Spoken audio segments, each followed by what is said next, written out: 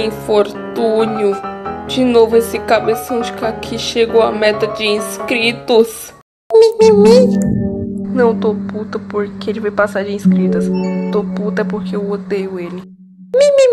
Voltar no tempo e pedir um currado de nascer pra ele não ter um canal? Hum, ótima ideia. Ei, o que vocês vieram fazer aqui, hein? Eu vou contar tudo pra professora, vocês vão ver. Caralho! Vocês fizeram aqui? Meu Deus! Mãe, cheguei! Mãe! Célia!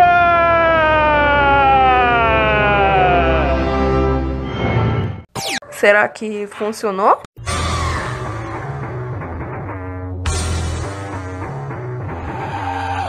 Ah, que infortúnio.